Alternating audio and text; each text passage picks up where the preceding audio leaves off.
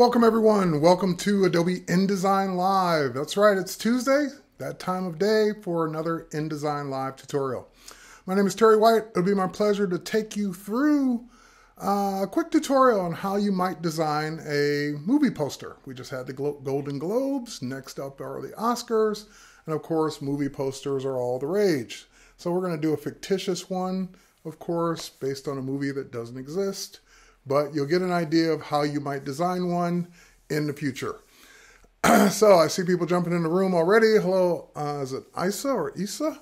Uh, Edwin, Victoria, welcome everyone, and welcome everyone else is soon to come in or at least uh, soon to watch this in the not too distant future.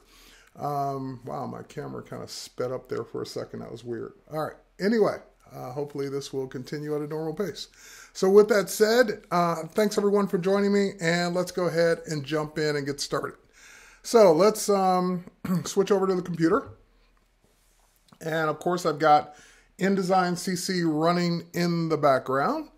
Uh, thanks, Edwin. I appreciate it. And Ari and Thomas, or Timothy, I should say, and Lee and Linda. Welcome, everyone. Hello. All right, so I've got InDesign CC latest version open in the background here, and what I'm going to do, of course, is create a brand new document. I normally start these off with a new document or a template whenever possible, so that way you guys can see the entire process from scratch. So I've got InDesign CC open here. I'm just going to go ahead and say create new. Uh, it's going to ask me for a size. I've actually got a size dialed in here. So movie posters, standard movie posters here in the US are 27 inches wide by 40 inches tall. Of course, you can make this any size you want, uh, especially if it's not going to be for a real poster. But uh, I decided to go ahead and keep to the standard movie sizes here of 27 by 40.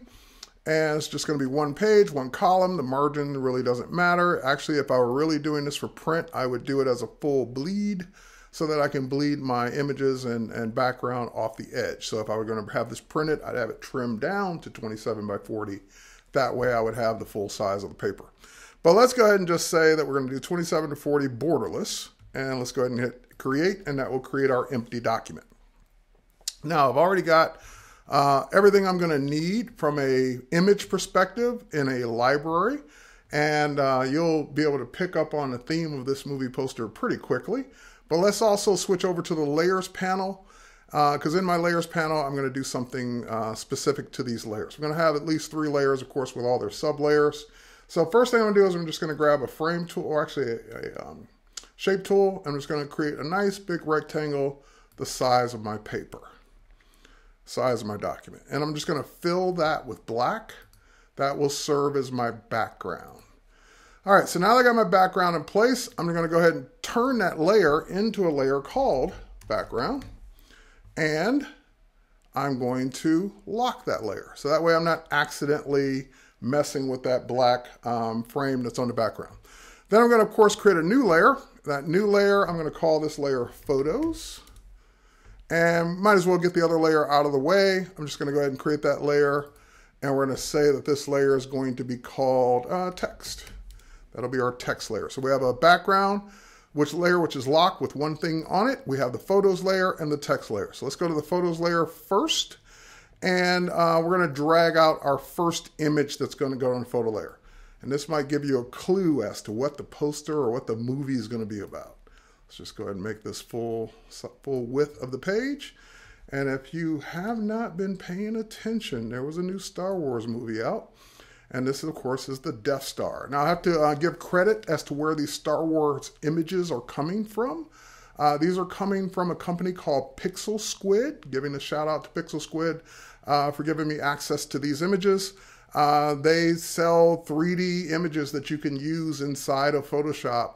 Um, you know, you can turn them around inside of Photoshop and composite them royalty free. So they create all this stuff from scratch, and I'm just borrowing it from them. All right, so I'm going to go ahead and say that I want high quality display. It's not going to make a big difference here. And typically the problem is bringing these images in. They're coming in at their full exposure and brightness and all that. And Dave Clayton's in the house. Hey, Dave, you're gonna you're gonna love this part because uh, you're gonna be in it later. Uh, anyway, let's let's go ahead and uh, let's tone this down a bit. And one of the th things we can do is first and foremost, you can just lower the opacity of objects inside of um, InDesign. So if you just kind of wanted to fade that out into the background against the black, you could, but that's not quite what I want. What I'm going to do instead is go to my object menu, come down to effects, and come down to the gradient feather. So there's a directional feather, a basic feather, Satin, and the gradient feather. So let's go to gradient feather, and we're just going to go ahead and twirl that down. Do it from like about a 50 degree angle there. And I can also adjust how this looks. So for example, if we preview that, I can make that uh, show up. Oh, I didn't mean to do that. I want to move it, not to duplicate it. There we go, make it lighter, but I, I want to go the other way. I want to make it darker and more ominous, ominous, ominous, yes, ominous, and maybe not quite that dark. And we'll fade it back that way some more. Yeah, that's kind of what I'm looking for. Just kind of like off in the distance, off in space, kind of making that look uh, fade it back just a bit, maybe even a little bit more. Okay, and again, these are all non-destructive effects, so you can always go back in and retweak it if you don't like it. Let's go ahead and click OK. Um, all right, so we got that background item in place on our photos layer.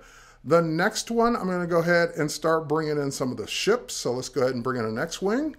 And of course, these are all, now I didn't have to cut these out. These are all cut out automatically from uh, Pixel Squid. So you don't have to even mask them. They're already masked for you. And you can, I, I pointed it up before I made a Photoshop file. So it was just in the orientation I wanted it to be. That's another good advantage to this is that you can rotate them in 3D space and then save them out as PSDs or layers and use them uh, right out of the Pixel Squid library. So we're going to go ahead and bring in our TIE Fighter here, our special Kylo Ren TIE Fighter. Let's put that one up there. All right, pretty cool. Now it's time to bring in the stars of the show and the stars of the movie. Um, so, uh, DirectHit can only just can destroy that. You are absolutely right, Edwin. All right, so let's bring in um, one of our stars, Victoria Pavlov, the Photoshop artist, has lent she lent me an image to use, and I'm honored to be able to have her. She she's already decked out in the Photoshop gear. She's already got her uniform on, so that made it an easy choice to bring this in. You will not find this on Pixel Squid, but I wish it were. All right, let's go ahead and uh, put her in place, and then we're going to do this, give her the same kind of treatment. We're going to go to uh, Effects, Gradient Feather, and we're going to do, do this from the bottom. There we go. So she's kind of fading out or fading in from the bottom up. Uh, so again, same kind of thing. We can choose how much of that gets faded. I would say right about there is what I'm looking for. We'll click OK, and we got that in place as well. Now, of course, we have to give her a Photoshop type weapon. And if you're a Star Wars fan, you know that can be one and one thing only. For a Jedi, that would be a lightsaber. So let's bring that lightsaber in. Uh, and again, these all come from Pixel Squid. I just, I wish I had rotated that one first, but I didn't. So I'm having to rotate it here in InDesign, which is not a problem. Let's go ahead and put that near her hand. If I were going to put it in her hand, I'd actually do that in Photoshop, but that'll be close enough for what we're going to do. I can also make that a little bit bigger. There we go more like that, and just kind of move it up a bit. So we're just, at this point, we're just placing our photos. Now, at any point that you want to look at this without all these um, uh, frame edges around it, just long as you're not in the text tool, you can hit the letter W and that'll show you preview mode. So you can get an idea of what it's looking like so far without having to see all the frame edges. Hey, Amber. Amber just joined, joined as far as, or as well as uh, Ronald. Welcome, everyone. We are doing a movie poster uh, kind of a knockoff on Star Wars. Okay, so we got, got some other stars. Now these are just uh, guys I photographed in the past, so they're they're models. I have their model releases, so we're going to use them. I'm just going to bring him in. He's going to be one of our heroes. And we'll bring in our other hero, Trevor, here. Now, Trevor, I didn't cut him out quite the same size. So I got to make his bigger first. Ooh, I did it pretty much the right size that time. Yeah, it's about the right size. We'll move him over here. And I've got a lot more of his body showing, so we're just going to use the frame in InDesign to kind of crop that off a bit. And I thought I had darkened his collar a bit more, but anyway, he's got on regular street clothes, regular shirt there. Uh, let's go ahead and scale him down just a bit more. I don't want his head to be cut off by the lightsaber. And scale him down a bit more, a bit more, and there we go. Okay, next we'll bring in another um, pixel squid object. We'll bring in something from uh, Star Wars, Kylo Ren's mask. And we'll just go ahead and drop that right about here. And I'm not holding down the shift key. So when you place an object, whether you drag it in from a library or place it using the file menu in InDesign, it's automatically going to scale proportionally that first time without having to hold down anything. So same kind of thing. I don't want the mask to be in its full glory. I would love to do another gradient feather on that. So we'll go to ob Objects, Effects, Gradient Feather. We'll do that from the bottom just like we did everything else. And we'll kind of just pull that over. Ooh, not so much, not so much, not so much. Just kind of fading out the bottom of that. So this is what we got so far. Hit the letter W so we can see it all. And as you can see, I'm leaving space down at the bottom for my text. So this is all working out so far so good. I think I've got all the objects I want to use. So now we got to bring in our movie title. Now, of course, you could type this text inside of InDesign but then you'd be limited a little bit by just fonts and, and, a, and a few effects in InDesign. So I created this text actually as a Photoshop object. I'm just going to bring it in from my library and we'll put it right about there. Photoshop Wars, yay. All right, we'll center that. Ooh, not center it there though. We want to center it on the page. There we go. I'm going to push that up a bit. All right. So now that's technically a photo, but it is also text, but I'm going to keep it on the photos layer and I'm going to switch over to the text layer so I can put in my type. So now at this point, um, the, the main, and this is probably the bulk of the, the tutorial for movie posters. It's really not so much about the image, although that's the design part, but the, the actual mechanics of it is really all that type at the bottom. That's what's the time consuming part because usually the composite image is done all as one piece inside of Photoshop. You're usually not putting it together like this uh, inside of InDesign, although I proved that you just, you can, as long as you have the right objects to put together. Um, so with that said, since I'm going to be um, uh, putting the text in, and that's all that, you know, all the credits down at the bottom for the movie poster, there's a couple of different ways to do that. Now, of course, you can just draw a text frame and you can tab over all the items as you type them. That's certainly one way to do it. You can create a text frame for each individual name, so that way you have the flexibility of moving things around. That's certainly a way to do it. You can also create a table, which is the way we're going to do it. That's another way to do it.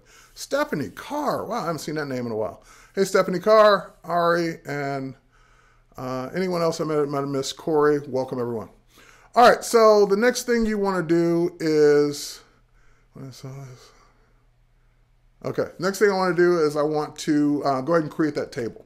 And again, it, it, this, this is not a, you have to do it in a table. You can do it any way you want. It's just the table will make it easier in a lot of ways to keep the type aligned and keep it organized. Sometimes it won't. So it just really depends on what you're trying to do. Uh, so let's go ahead and create a table. I'm going to go up to my table menu. I'm on the text layer. I'm going to go ahead and say create table. And luckily, the table will allow me to create as many rows as I think I'm going to need and as many columns as I think I'm going to need. I think I'm going to need four rows to start and seven columns to start. You can always add more later or delete the ones you don't use. So let's go ahead and say create a table. And also in the current versions of InDesign, you don't you used to have to create a text frame first and put the table inside of it. You don't have to do any of that anymore. You can just go ahead and generate the table. And if I click without, I could either click or drag, but if I just click, it'll automatically make the table take up whatever space is left. In other words, wherever I clicked it, it will automatically fill up from that spot to the bottom of the page. So it basically built this table um, all set and ready to go. I can move it up a little bit, but that's my seven columns across and my four rows down. Now I already know that for the last two rows, I want those to be two separate rows that I'm going to merge. Actually, I could make it one. I could make it one big cell. All right, I'm gonna make it one big cell. I was gonna merge it into two separate rows, but I'll make it one big cell. So that last piece is just going to be one big cell at the bottom. And then we've still got our seven across on two rows now. Yeah, yeah, I think that'll work out. Okay, So now um, I, am going to do a couple things to format the to, to set the basis for the table first to get the formatting the way I want. So that way I'm not having to keep, continuously go back and do it. Uh, I'm going to go ahead and highlight the table. Now, if you highlight it pointing down, that selects a single column. If you highlight it pointing to the left, that selects a single row. If you get it up in the corner, like so, that selects the entire table. So that way you get the entire table selected. So now when you go to your table um, cell options and you go to text, you can say that I don't want to align my text at the top, which normally you might want to. But in this case, I want to align the text to the bottom. You'll see why in a moment. And um, that's pretty much it. Now, the only other thing I would do is for the strokes and fills is I would go ahead and set those to zeros because I don't need to see the lines, even though on this black background, we wouldn't see them anyway. But um, just to turn off all the lines going horizontally and vertically, they'll still be there for um, design purposes, but you just won't see them when you're in preview mode anymore.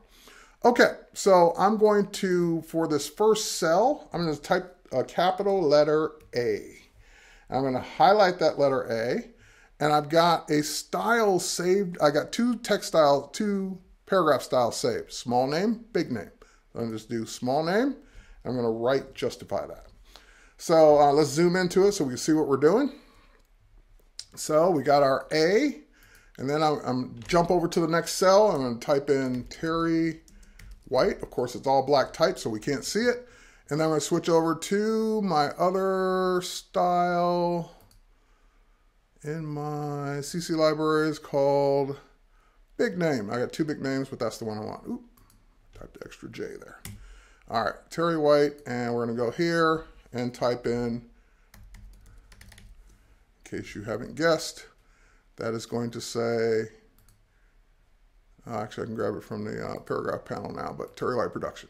Now, I'm mixing the font here. Of course, you don't have to do that, but I'm basically saying that I want uh, Terry White to be in Trojan um, Pro 3 regular, which is a Typekit font, and I want my A and my, my production to be Proxima Nova Thin. Uh, you can do it all as one type. You can use whatever font you want. Trojan Pro, if I'm saying that correctly, is a big, heavily used name, or I'm sorry, font in these kind of credits under movie posters. So if you want to know like which one do people use the most, it's this one. Uh, but you can use whatever you want. Your poster. All right, next we're going to do, uh, instead of bad robot, we're going to do good robot. Because we don't want a copyright violation. Good robot production. All right. All right, and we'll do small name there. And uh, now we can just hit tab, and then we can go over and start putting in our name. So our first star will be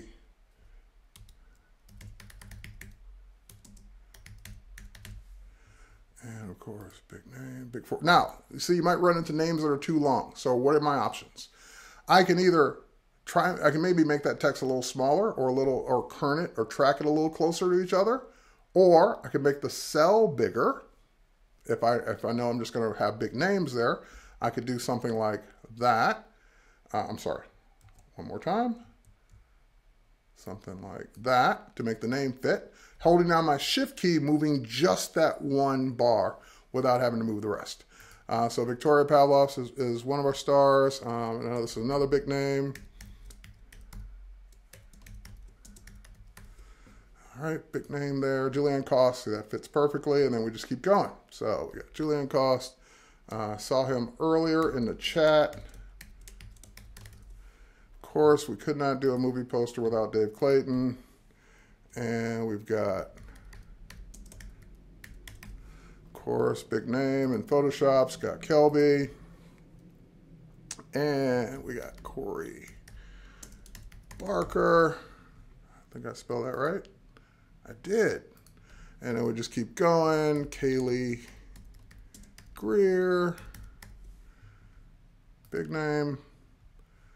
And uh, let's see here. We'll do Glyn Dewis big name, and then we'll go to a longer name. So I'm kind of keeping the longer names in the same spot. Although technically you'd probably have to put them in the order of their uh, success.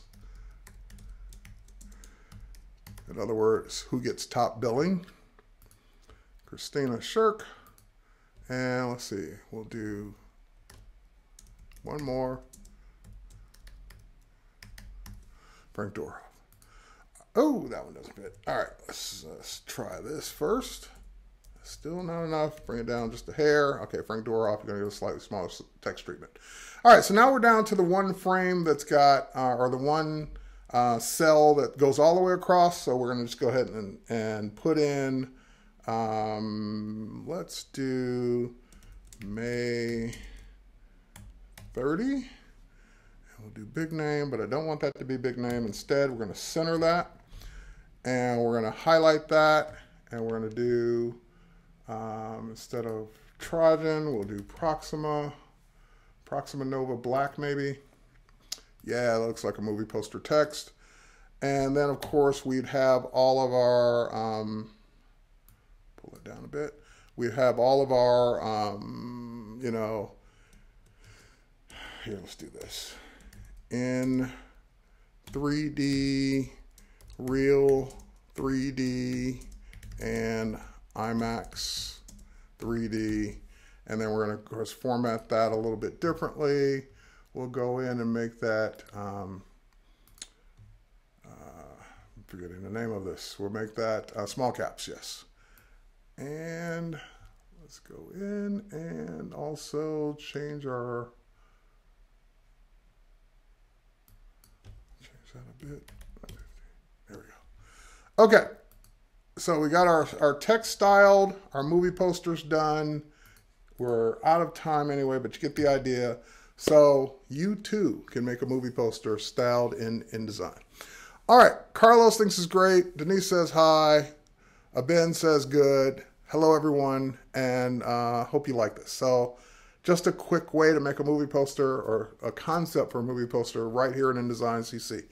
Um, one other tip I will give you for the text formatting, I did it, but I didn't show it. So not only did I choose the Trojan font and make it bigger, but um, movie posters tend to have taller text. So what I did, we zoom in on this, I made the height of that character 200%. So that's not how tall the Trajan Pro normally is. At 100%, it would be more like this.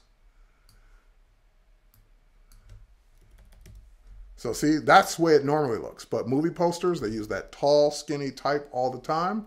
So you can quickly achieve that effect just by simply changing uh, the character height from 100 to 200. And what I did on the production is I made, uh, or all the small type, smaller type, I should say, I made that 150. So you have 200, 150, 200, 150, 200, 150, all the way down.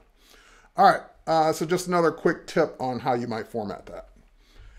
All right, that's our poster. And of course, at this point, we could print it. And most importantly, we could export it as a PDF directly from uh, InDesign. So let's make that a press-ready PDF. Make a Star Wars, or not Star Wars, Photoshop Wars poster 2018 and we'll save that to our Creative Cloud files in Adobe Live. Save.